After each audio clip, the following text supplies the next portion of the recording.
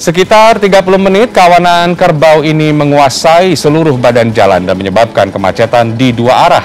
Sejumlah pengendara ada yang nekat menerobos nyaris tertabrak kerbau.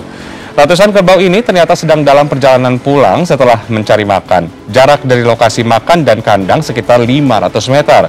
Perjalanan kembali ke kandang diawasi penggembala maupun pemiliknya yang juga warga daerah ini. Walau dianggap membahayakan pengguna jalan, sejumlah pengendara mengaku terhibur dan menganggapnya sebagai pemandangan unik.